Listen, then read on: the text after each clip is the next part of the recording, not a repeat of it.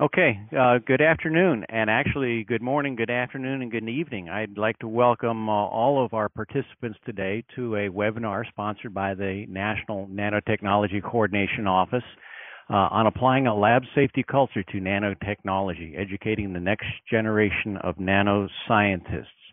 And uh, my name is Chuck Geraci. I am your uh, moderator for today. And by way of uh, introduction for myself, uh, I am the uh, Associate Director for Nanotechnology at the National Institute for Occupational Safety and Health. I've been involved in various aspects of industrial hygiene for 40 years. Uh, that means I have some experience, but I'm also a little bit worn out at times. But I must say that this is an exciting topic. I'm pleased to provide overall guidance and direction to our nanotechnology research effort here at NIOSH and I've been uh, pleased to be involved with uh, a number of the activities that, that are sponsored throughout the U.S. and throughout the world on nanotechnology.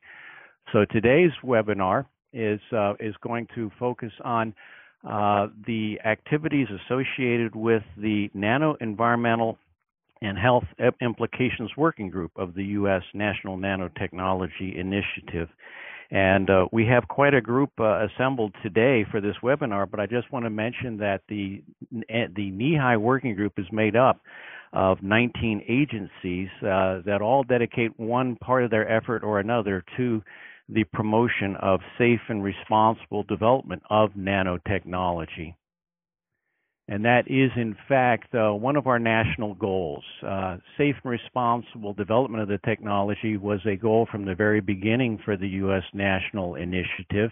And what we want to do today is discuss how a good and effective culture of safety in the research laboratory can help facilitate good research in nanotechnology and we're hoping that today we can build some awareness of the existing information resources that'll help all of you and we also want to engage both academia and industry in this discussion and share their practices, their perceptions, their expectations. And we also want to, to ensure that overall, both in academia and in the private sector, that a good culture of laboratory safety is, is a value in the work that you do. So, as I stated, this is a priority for the National Nanotechnology Initiative. And we've had a growing number of questions put to us at workshops and at various uh, seminars and symposia about what should be done differently, if anything, in the laboratory community when dealing with nanomaterials and nanotechnology. And nanomaterial science presents to us a new challenge that in some instances we are creating novel, new to the world materials, and in other instances we are now working with the nanoscale form or formula of what is a seemingly familiar material. So the question is should these novel nanomaterials be treated differently? And are there anything and any special requirements for working with these new or novel materials different from any other new or novel chemical entity? And we also recognize that there's a diverse and exciting collection of various technical disciplines that go into this collection of practices we call nanotechnology. So what we want to do is balance good hazard information for what we do know about a growing number of nanomaterials to the huge number of nanomaterials that are engaged in research today. And we want to introduce nanomaterial science or nanotechnology into the general discussion of, of laboratory safety. So today we have a good panel of speakers uh, who will help us uh, understand and address uh, several of these topics in a number in a number of these areas. And so what I'd like to do today is get us started with some introductory m- remarks by Dr. Keith Watson. Um, Dr. Watson is Vice President for Core R&D at the Dow Chemical Company. He received his PhD from Northwestern University, and while there, he was there a joint student with uh, SonBinh Nguyen and Chad Mirkin, a name we're all familiar with in nanotechnology, before joining Dow Core R&D in 2001.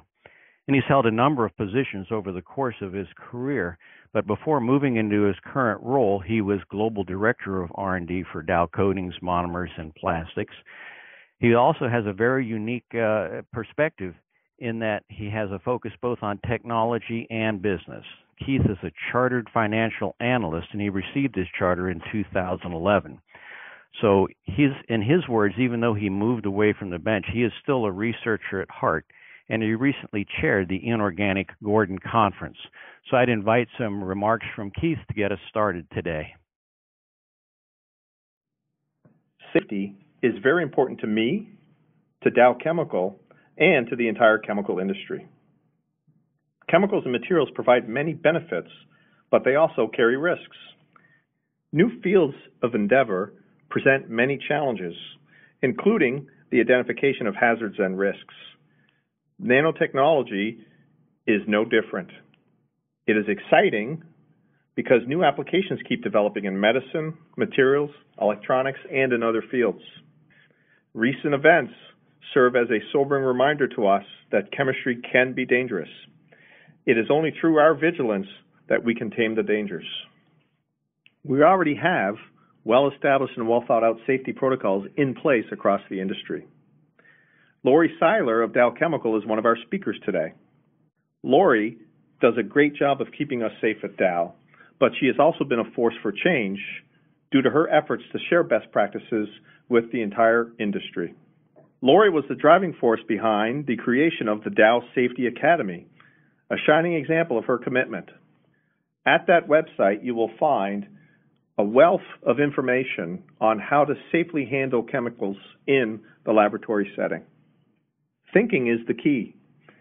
Engaging your mind before you start a task is the single biggest step in ensuring safety. I want to again thank the organizers, speakers, and all of you who are attending this for your commitment to safety.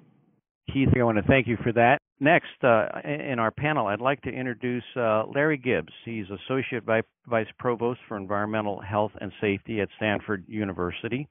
And in that capacity, he directs their overall EHS and emergency management program and has oversight for the Stanford Nanofabrication Facility and the Stanford Nano Characterization Laboratory, as well as a variety of other duties and responsibilities. A focus of Larry's work is on identifying any of the unique characteristics and attributes affecting the advancement of laboratory safety culture in academic research labs. And I can say that any of us who have uh, studied up on how to drive and create, create and drive a good culture of safety in the laboratory will come across Larry's works in many places. So I'd like to invite Larry to offer some comments today. Thank you, Chuck, and it's a pleasure to be with everyone and welcome certainly over the last eight years or so, everyone's aware of the different incidents that have occurred in laboratory safety. Many of these high profile, tragedy, tragic, in some cases, high consequence incidents. And although we know they're low probability, they can have catastrophic impact. The reviews that have occurred in all of these cite as a commonality lack of a strong safety culture as the major factor in many of these incidences especially in the academic research labs. There have been a number of publications by the high profile organizations from the Chemical Safety Board, American Chemical Society, the National Academies of Sciences, and most recently the American Public Land Grant Universities, all recommending the need for advancement of safety culture in academic research. And these have all have the common theme as well that there's a need here that we need to be focused on. Um, one of the things we often have to look at and talk about is the labor. What what is it we mean by laboratory safety culture? And oftentimes, when this was started discussion many years ago, people said we need to create a new culture of safety. And the issue is everyone has a culture, not that we need to create a culture of safety. And it's a matter of trying to find out where you're at on this ladder or spectrum of culture as defined by Patrick Hudson. And figure out are there ways we can move beyond the lower rungs to the higher rungs. That's really the key here. It's a moving target, it continually changes, and as indicated on the slide, you have to really continue to focus on moving this forward because if you don't continue periodically focusing on it, the culture can move in both directions. It can also slip away. So that's really a key focus of moving the laboratory safety culture.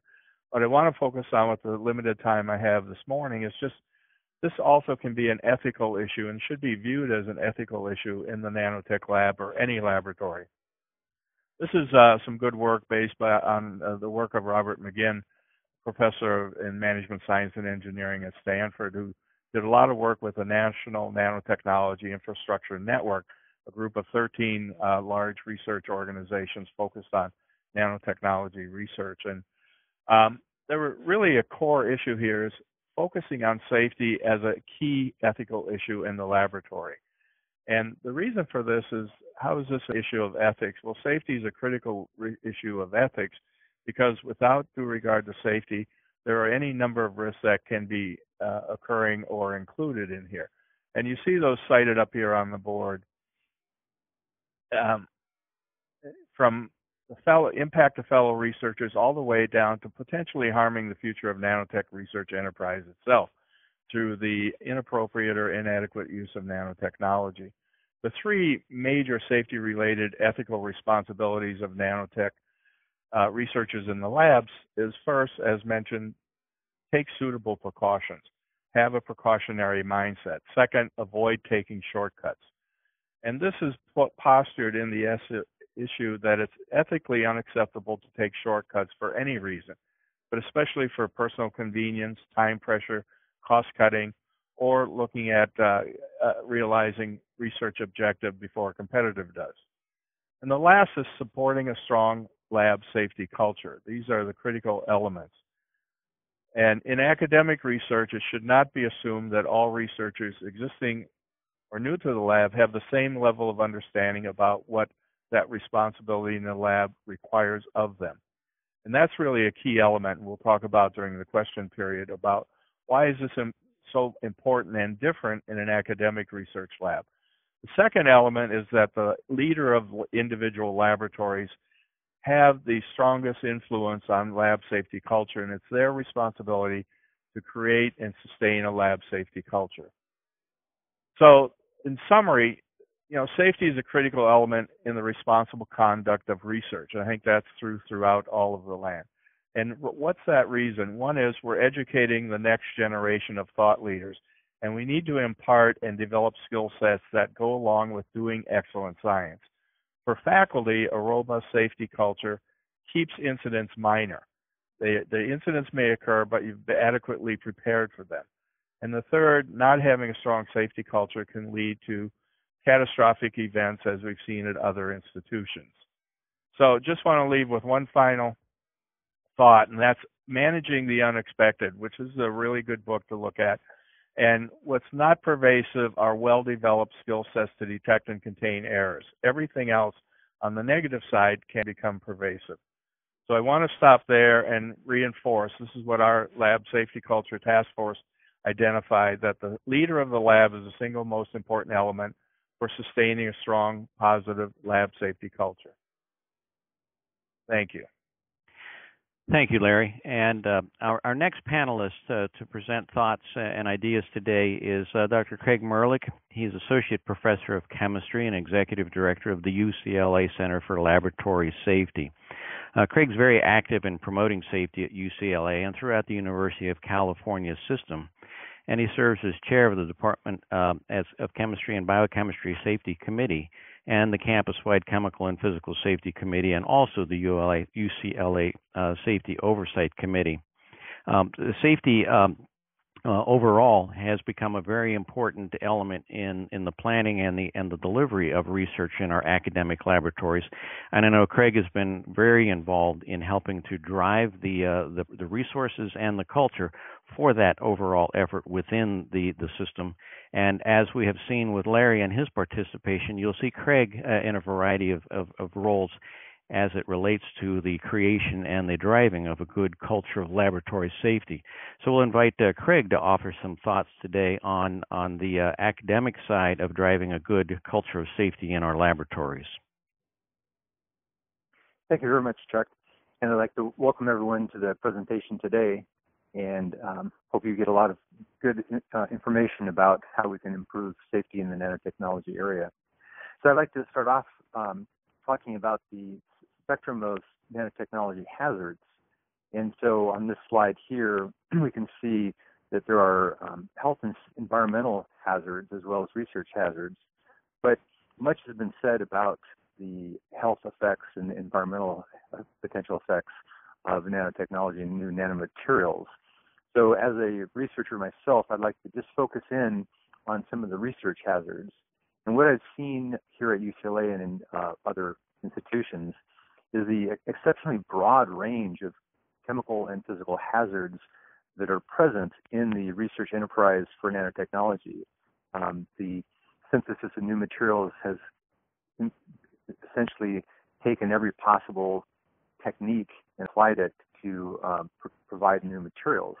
And so for the researchers, this presents a challenge in that they have to have a very broad training in uh, laboratory hazards to address these actions. And so in the synthesis of new materials, there's going to be the synthesis and then the modification of nanomaterials, processing, characterization, and testing. Um, and at every level, the researchers need to uh, address the hazards. And so this broad knowledge is, is quite a challenge. And so it often stretches the limits of in-house safety personnel. So speaking from an academic institution, I can say that our EHS has uh, good expertise, but oftentimes it's not possible for them to, to know the full spectrum of hazards within individual labs. So that calls into uh, the need for researchers to have broad training. So on the next slide here, I sort of at the top show the A to Z elements of a good safety program. And so all these different local and local layers of risk management apply, starting from the administrative commitment back one. Where to go? This slide. Okay, the list here showing administrative commitment all the way through hazard identification and risk assessment and also risk mitigation. So these are all the, the usual uh, factors that must be considered. But really, a strong safety culture can come into play here because um, there are the, potential gaps in the institutional support for safety. So it's really the bench scientists that are going to be leading the safety practices rather than merely following the regulations. And so that calls into the need for a, a thorough training of the research scientists working in nanotechnology. So um, one note here is the safety culture approach is that a really beneficial consequence of this is that we can view compliance with regulatory requirements as an outcome of a strong safety culture usually in, in many labs, they are concerned about compliance with regulatory requirements, and that might be a goal. But really, if the goal is to have a strong safety culture, then compliance can actually be an outcome of that, and rather than a leading goal. So one thing I'd like to show here on this slide is the safety triad, and this is one way of looking at safety actions within the institution. And so we see that there are safety programs and safety programs included all, include all the activities by H&S and lessons learned and SOPs and PPP, PPE usage, etc. Um, and then today we're going to be talking a lot about safety culture, and safety culture can be viewed as the institution's complete set of safety policies and procedures and the institution's commitment to them. But really, what we also want to look at in terms of safety is the uh, safety outcomes the safety outcomes are what incidents occur, where they occur, how they occur, um, and how often they occur, and why they occur. And so looking at all three areas is, is critically important. So on the next slide, I give some uh, bad results. And so it's been mentioned in the national press some high profile incidents, but I list here some ones that didn't make the national press. And some of these occurred in materials science laboratories um, and it shows that there's a, a, need for greater attention to specific uh, areas of, of, analysis for hazard assessments and to avoid catastrophic uh, problems like this. So there's a need a better, more more attention needs to be paid to uh, evaluating physical hazards, uh, controlling scale-up of experiments, and uh, identification of different types of hazards and how to mitigate those hazards. And all of these could benefit from a more robust training of our students in a stronger safety culture. And then here, I just want to show a slide that um, I'll mention later in the, in the question Q&A part, and that is that we've at the UC Center for Laboratory Safety have studied the effect of PI engagement on injuries. And if you just look at the left side and the, the blue bar is when the PI monitors laboratory safety, there's uh, very few major injuries.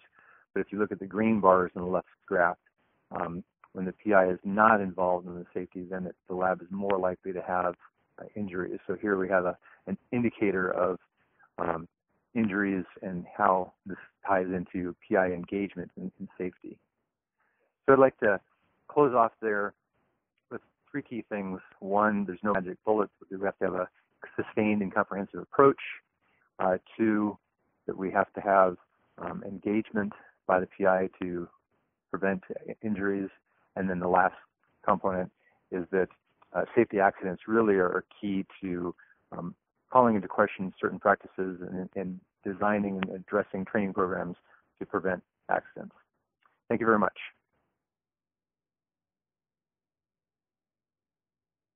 Uh, thank you, Craig. And um, what I'd like to do is uh, next invite our, our final panelist, uh, Lori Seiler. Uh, Lori is Associate Director for Global R&D EH&S at the Dow Chemical Company. Um, she has responsibility. She actually provides leadership and has responsibility for the global R&D EHS and research sample management and the R&D mechanical integrity.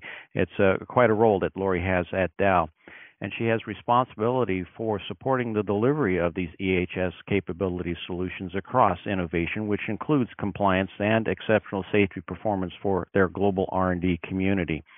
And any of us who have uh, cruised through any of the resources and websites available on laboratory safety will certainly come across Dow Chemical and the Dow uh, Safety Academy. So I'll invite Lori to uh, provide for us uh, perspective, and, and we're very deliberate about, uh, and we're very happy to have Lori participate today. And we were very deliberate about having someone who could represent and discuss with us the experience out in the private sector. So Lori, would appreciate your comments. Great, uh, Chuck. Thank you for that introduction. It's a pleasure to be with everyone here today. The, uh, as my other panelists have talked about, there is so much that needs to be done with respect to building and sustaining a strong safety culture. And one of the things that I wanted to highlight were just a few key examples of our approach that has been working for us within Dow.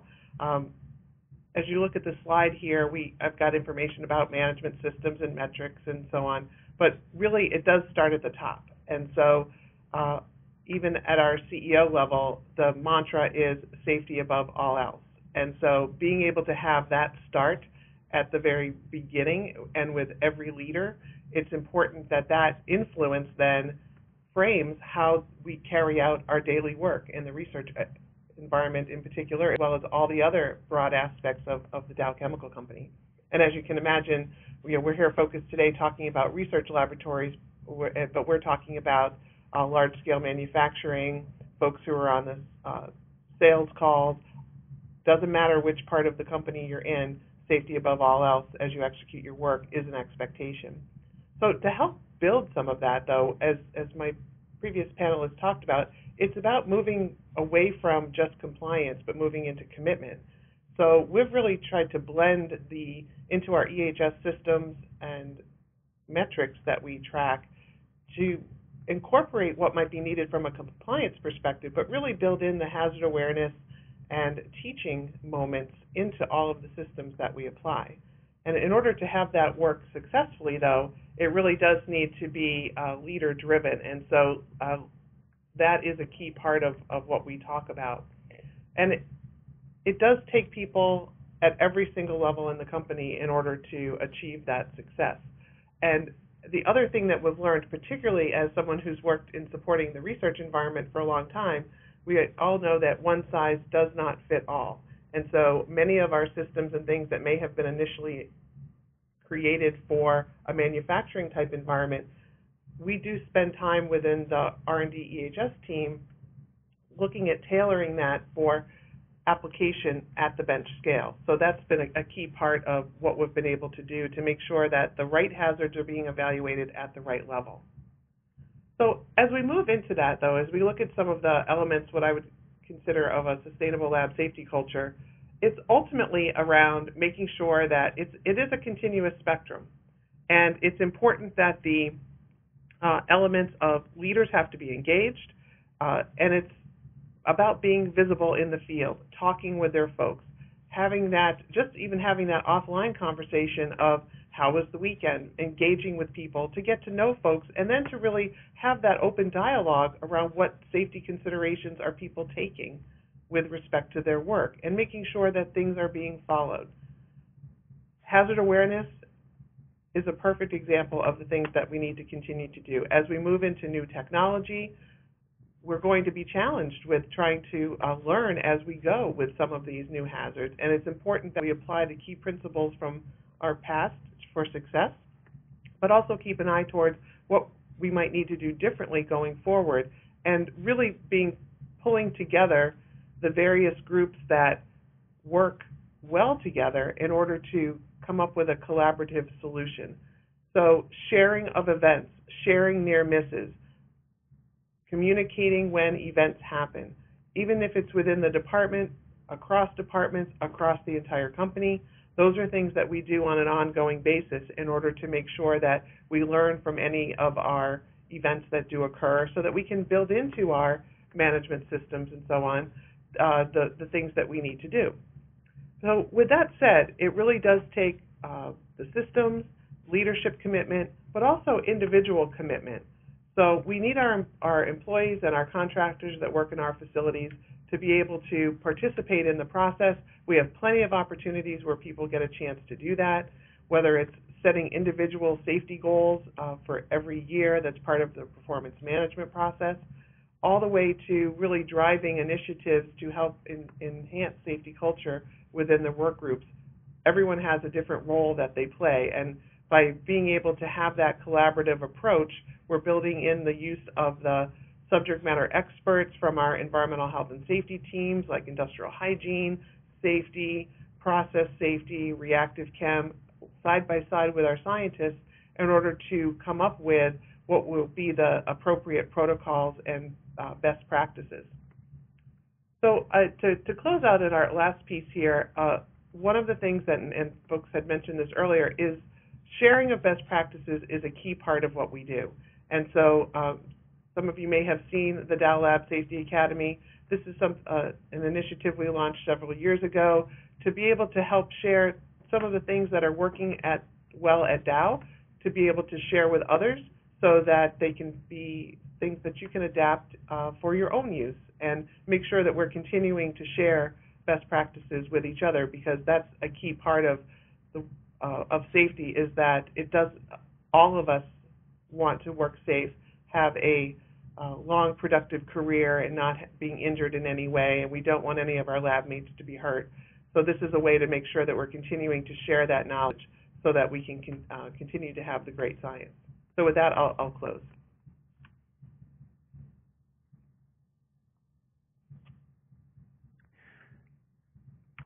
Thank you, Lori. And and now I'd like to move into some questions that I have for our panelists, uh, and we will also be moving to questions that we have from from our um, participants logged in from around the world. And a question that I think many of us uh, get all the time, and I'd like to get some thoughts uh, from our panelists is, uh, you know, just how does an organization build good safety awareness and the skills needed to support it, and how might that differ as you go from the environment in ac- academia to the environment in the private sector. And so I'll, I'll, invite Larry and, and Lori, and in no preferred order, to, to provide some uh, some thoughts, some ideas on just that fairly basic question of just how do you build that safety awareness? What kind of skills are needed to do that? Well, uh, this is Larry. I'll I'll start if I may. Um, I think one of the critical elements is really understanding the organizations that you work with. Uh, one of the things that's unique and challenging with academic research organizations and the environment is that it's often like working with seven to 800 independent small business owners, all working to gain research funding, sustain that funding, et cetera, and trying to coordinate that at the same time. I think that's a, a significant organizational hierarchy difference between academic research and and uh, industrial or, or private sector research. the second major organizational differential is researchers themselves. The majority of our researchers are graduate students and postdoctoral fellows. They're young, often this is their first time working at the research bench, and they often work quite independent of others. Um, enterprise wide, we have approximately a 20% turnover per year of our total researcher group. So that leads to its own challenges. And the what we found, as I mentioned in the presentation, is that the leader of the individual research laboratories, at least in an academic research setting, have the most direct and lasting impact on researchers that are new to the lab. So that safety culture certainly can be supported from the top down, but it's really driven from the bottom up. And I think that's the challenge we have. Um, and to exacerbate that challenge, what's happened, and certainly Craig and others can talk to this, uh, the time spent actually on research by the faculty and principal investigators involved with research has been diminished due to the driving of administrative requirements for uh, research leaders and faculty leading large research programs. And those are all factors that have to come into this. Now, how how can we build that? And my belief is that we really have to start with a really critical triangle of the research group leader, which is a faculty or PI, those people in the lab, and I think uh, the environmental health and safety programs of the respective organization have a critical role and develop more of a collaboration around that triangle. I think it's a changing culture is not a short-term outcome; it's a long-term goal and it's a long-term outcome. So the focus focus on research is at many levels. It's with the budding researcher, we need better skill development in hazard assessment, safety risk assessment, or the experimental project planning. And that should be a part of that normal mentoring and advising that takes place in the research lab. Uh, I'll, I'll, stop there to give Lori a chance to weigh in, but those are some of the challenges, and I can talk more about how that is trying and in other areas being approached.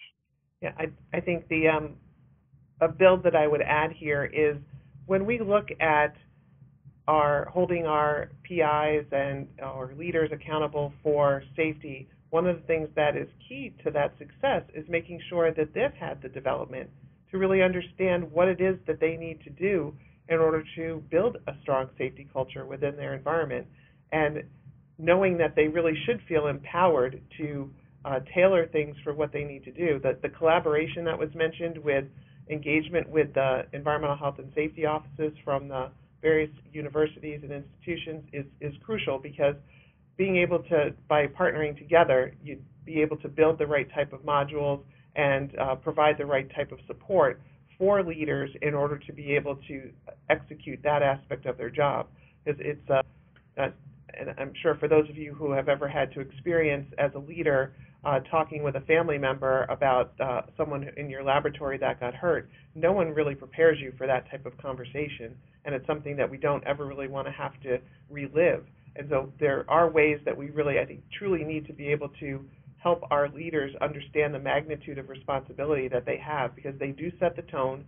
And as was also said, the idea that it has to be engagement across all levels and roles and really that um, cross-functional approach is going to be key to, to building something that's uh, positive and sustainable. This is Craig, and I'll jump in with a few comments here, also speaking from an academic perspective. And I think one thing that's really interesting is the uh, difference in uh, autonomy between academics and industry. In industry, there's oftentimes a, a well organized management structure but in academic research, oftentimes the PI, the professor, has an amazing autonomy. It's possible to be a professor working on a project and go for years without ever actually talking to the dean or the vice chancellor for research or any of the other people higher up in the administration because the PI has so much autonomy. So it's important for H&S to recognize that and support every single PI in terms uh, in terms of developing this strong safety culture. So I think it's that that autonomy that creates a challenge for academics uh, in terms of communicating down to everyone uh, the, the, need for high level of safety culture. Okay. Well, thank everybody for those comments, and that plays into uh, another question that we have, and we'll we'll use we'll get one final question to the panelists, and we'll go to questions uh, from our attendees.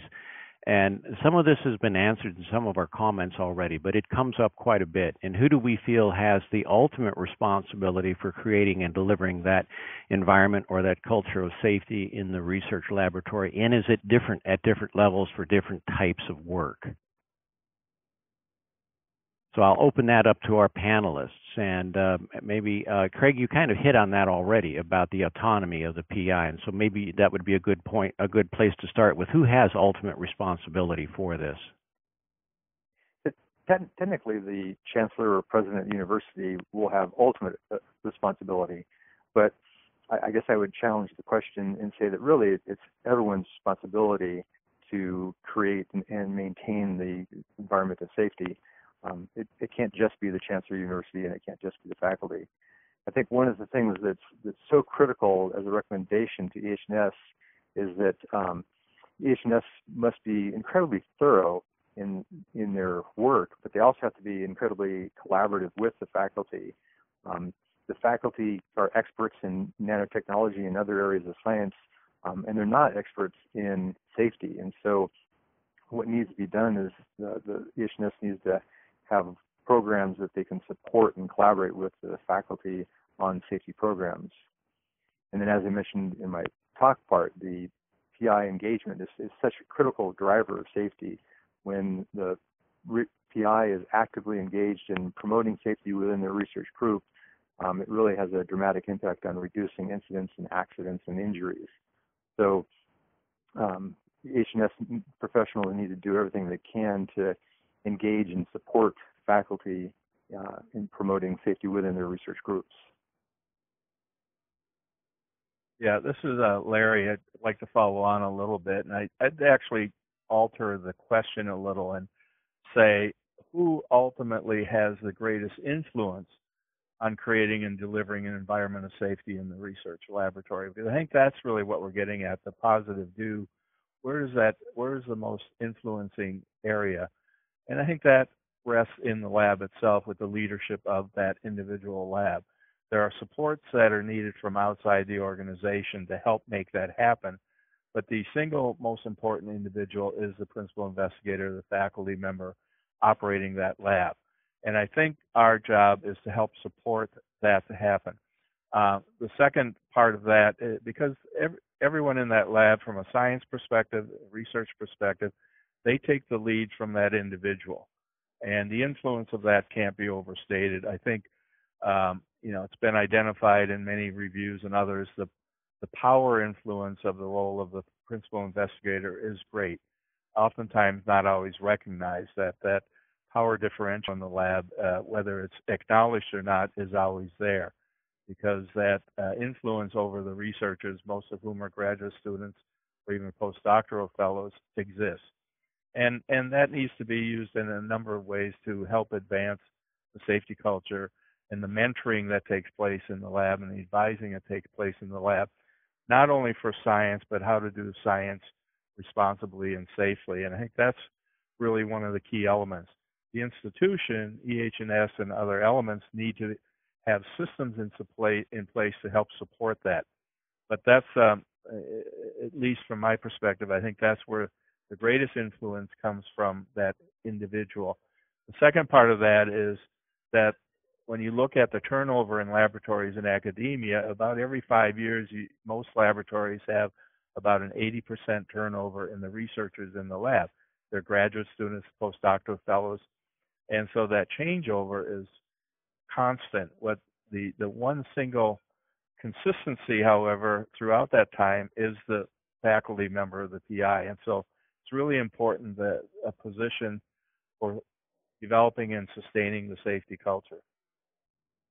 If, if I could just add to that, I, I think the a key part of it as well is the idea that with all the systems, et cetera, that may be already available, it's ultimately the, in this case, the PI or the work group leader setting their expectations for how work will be conducted safely in their in their laboratories, and then following through, whether it's through direct intervention on their own or by identifying a uh, laboratory manager or other other um, structure to, be able to ensure that the expectations are being followed through upon is a key part of it because we know, as we were saying earlier, folks can't be all places at all times. So there does need to be a, a group sense of what the accountability is within the whole team in order to make sure that we're holding each other accountable as well. But the tone still, those expectations, and as my fellow panelists have said, still need to be uh, established at the leadership level. But being able to, you know, so for instance, is there an intervention culture? So if you if you see a, a lab colleague not wearing their proper protective equipment, or they're appearing to do something an unsafe act, do the fellow lab mates feel like the culture is strong enough that they can intervene on that person's safety and be able to help coach and provide the the, the uh, best advice on how to not be injured as a result of what they're doing. That's a, a key element of that culture that needs to be prevalent as well. Well, I'd like to thank uh, uh, Lori and Craig and, and, and, Larry for, for, for the great uh, discussion and the great dialogue on this. What I'd, I'd like to do is is take questions from, from our audience and have our panelists respond to those questions. And so we have a number, number of questions that have been offered to us, actually a large number of questions. We'll try to get to as many of them as we can in this segment, and we may come up with a process to try to respond to as many of these as we can even after the webinar. But one of the questions was what nanomaterials currently have required or recommended occupational exposure limits uh, developed for them, and what are the respective references? Um, I'll, I'll take a, the first stab at that uh, at that question, and that is depends on what country you live in. So I'll, I'll be very U.S. centric about that and say that in the United States, um, NIOSH has been developing recommended exposure limits and looking at risk uh, assessment uh, assessments for engineered nanomaterials for a while now. And we've published uh, two current intelligence bulletins, Current Intelligence Bulletin 65, Occupational Exposure to Carbon Nanotubes and Nanofibers, and Current Intelligence Bulletin 63, uh, Occupational Exposure to Titanium Dioxide. Those are available on the NIOSH website and some of you may be aware of our recent efforts to evaluate occupational exposure to engineered uh, silver nanomaterials or silver nanomaterials, and that is currently in review stage and uh, will be published sometime within the next year, depending on the level of comment and time necessary to do that. Uh, you'll find information uh, and resource for this on a on a resource web page. We'll show you in a little bit about how you could link out to all the different guidance from from around uh, the U.S. and around uh, the the rest of the world. So, do you have any uh, additional comments from any of our other panelists? Okay, we've got a uh, another question that. Um, is there a sampling media and equipment that rec- uh, recognized as supporting consistent sampling and analytical results? And, and one of the things I'll state is, and that goes into another question, that uh, is there a compendium of those published methods and availabilities? Uh, a variety of organizations have published their approach to evaluating engineered nanomaterial exposure in the workplace and in the environment. And uh, I'll, I'll point to um, the NIOSH website for some of those resources the Organization for Economic Cooperation and Development, the OECD website for a number of those res- uh, resources and strategies and methodologies. And many um, um, individual research studies have been published in a variety of journals about how to go about evaluating workplace exposure to engineered nanomaterials uh, several courses are being offered on that. There is a course on that topic coming up at the Industrial Hygiene Conference. Uh, that information on that is available on the conference website. And uh, NIOSH just recently published a summary of the strategy that is used for field investigations for uh, ex- evaluating exposure to engineered nanomaterials. So there's a variety of resources available for a- any of you to, to pick and choose from as you put together your thoughts on how one might go about evaluating exposure. Um, a, another question that was put to us deals with um, how do you how do you address how do you deal with uh, the gap between industrial safety culture, academic safety culture, and does regulatory compliance have have a role in that? And how does one address regulatory compliance as a supporting feature or a driver for a safety culture in academia versus industry? And I'll turn this over to to our panelists. Well, this is Larry. I'll, I'll take a stab at this. Um, certainly, compliance is a core element of any program in any organization, and you need to have that uh, element present. Uh, as Craig alluded to in his discussion, if you have a robust safety culture, compliance will be a part of that. And in fact, it will be seen more as a part of doing business, uh, you know, as a good safety performance indicator. Um, so I don't see them as certainly being uh, intention. Uh, I think what you can do, however, if you have a robust safety culture or a strong safety culture, that compliance as an element of that, but it's not necessarily the overall driver. The driver becomes uh, looking at people's safety around you, et cetera, and in doing so, you'll see that compliance falls into line for a good percentage of it. There are administrative elements to compliance that don't necessarily have the direct link or is not necessarily seen at the level of the lab, but are requirements that have been put on by the regulatory agencies where we have to adapt certain regulations to fit a non um, non-intended area, which often happens in research laboratories where outside regulations have to be made to fit that laboratory. Now, I don't think they're incompatible at all, and I think they, they are can be complementary. Yeah, as this is Lori, I, I would I would add to that that realistically, I think as Larry stated, if many times the compliance aspect of an activity, it can, if that's blended in as part of an existing system that's driving uh, more hazard awareness understanding, it's almost seamless uh, as to what what the compliance piece of it is. But is if we're only striving for compliance, we're missing plenty of opportunity in order to really drive the idea of making sure that safe work practices are part of everybody's work every day.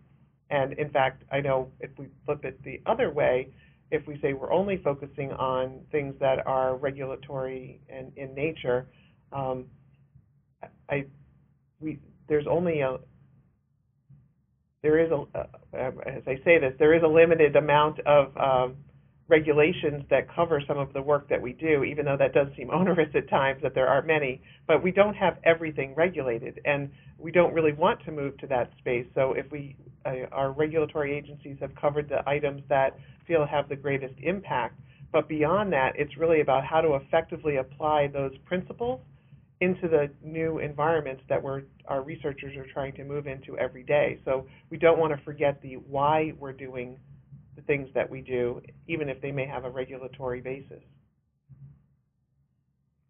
I also agree with my compliance that, like my colleagues, that compliance is very important. Um, but it's also important to recognize the limitations of merely just looking at compliance. If you consider an overlap between compliance and actual safety, um, there's not necessarily a perfect overlap of those two areas. And so that's critically important that we be compliant, but that we move beyond that.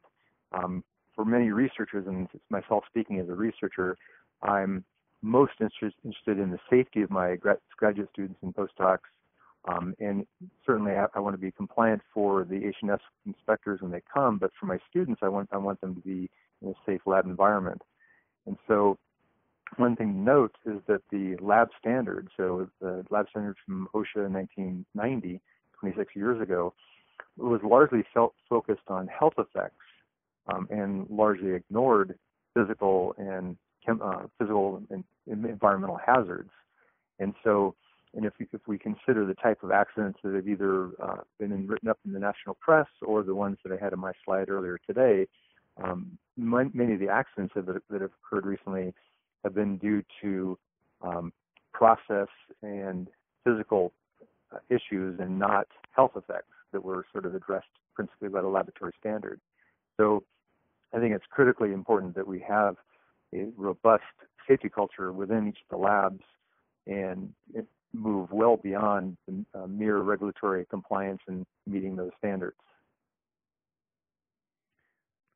Okay, we have another question that deals with uh, what kind of uh, examples can we point to or can we discuss uh, that require or call for adjustments in either task performance or work practices or protective equipment or controls when one is working with engineered nanomaterial and there are any possible particulate generating processes involved? And what are the challenges with that and one of the things I'll mention is that we had a, have a challenge with nanoscience right now that uh, deals with um, working with seemingly familiar materials, but now in a different scale and having different chemical and physical properties. That in itself uh, represents a rethinking of some of the hazard analysis that's been performed and the types of containment and control and protective equipment possibilities in the lab uh, need to be evaluated when one moves to those. Uh, nanomaterials, if they are handled in a dry powder form, tend to be fairly low density, therefore somewhat buoyant, and may require a different uh, way of containing and controlling them.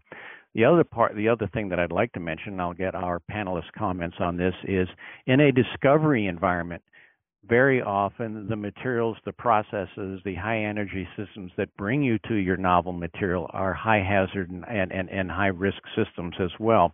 And so that needs to be factored into the overall picture of how one does nanoscale science and engineering research.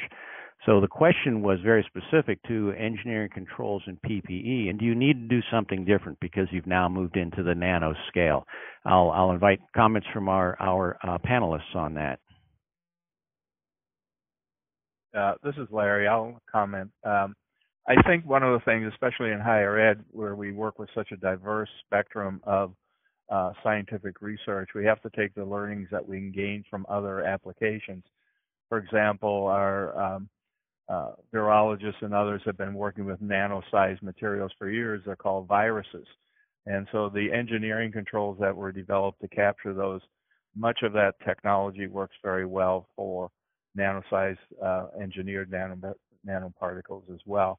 And so, and, and also the approach to the controls using a, it, well, is essentially a control banding approach for microbiological materials is something that's being well uh, more well developed and, and validated through work at NIOSH and other places. So uh, we may not know specifically some of the hazardous properties, but we can develop engineering controls to uh, work with them safely until those properties become more well established. And so learning from what's been done in other scientific areas is very important.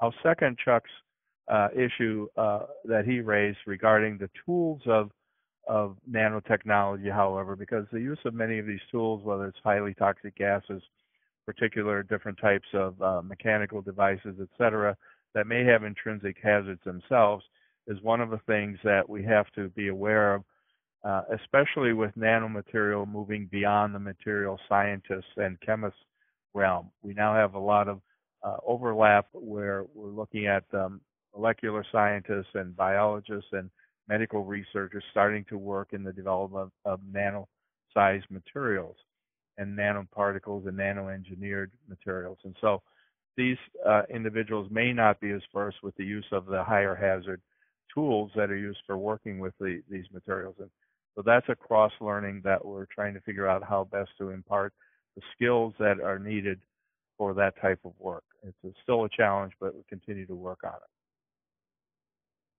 And I'd like to address one part of the question related to PPE control. And each institution has PPE requirements, and certainly a, a lab coat is one of the most basic in that area. Um, but it's interesting that lab coats actually provide very poor protection overall because the, the standard cotton lab coat, while it's breathable and, and, comfortable, is actually very porous and permeable. It's also very uh, wicking of, of chemicals. It's also reactive with, with chemicals, and so that the standard white cotton lab coat is, is not adequate. And then we now have FR lab coats, and they have uh, flame resistant properties, but they actually still fail um, regarding the permeability and wicking and, and reactivity with uh, chemicals that are used to process nanoparticles.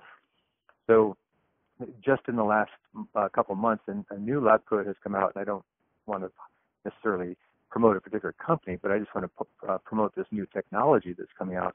That they have lab coats that are comfortable and breathable, but they actually are, are non-wicking uh, and and non-reactive with many chemicals. And so I, I think there's just an incredible advance now on, on lab coat technology that's going to provide a greater level of safety for lab workers. Okay, and Craig, I want to thank you for that, and I, and being mindful of our time, I want to note that we had a large number of questions, and we'll we'll address those in the best way that we can, and post them on the uh, the nano.gov website, the webcast at at nnco.nano.gov, and we'll see uh, how how quickly we can can address that. But I want to get to to some uh, closing comments here that uh, on the nano.gov website, um, the NNCO has uh, the, the NNCO has collected a variety of resources and posted them on nano.gov slash lab safety. We invite you to visit that website and see the resources that are available. We also invite you to make suggestions to the NNCO of additional resources or websites that you feel would be helpful in this overall effort uh, to promote a good culture of safety in our laboratories. And so we, we certainly invite our, our, our audience to, to visit that webpage. And then I also want to point out that from uh, the various government uh, agencies who participate in the NNI, uh, a lot of good guidance is being issued uh, by those agencies and I hold up here examples of, of documents from NIOSH and OSHA, very specific to engineered nanomaterials, either either recommended exposure limits or practices and technologies for good, safe handling and containment and control uh, of, of engineered nanomaterials within a variety of environments, including the, the, the research laboratory. Um, so, with that, I'd want to thank all of you who joined us today. Uh, I'd like to remind you that this webinar will be archived on the nnco.nano.gov website at the webcast. And so I want to certainly thank all of our panelists today and all of you from around the world who logged in uh, to participate in this webinar. Thank you all so very much.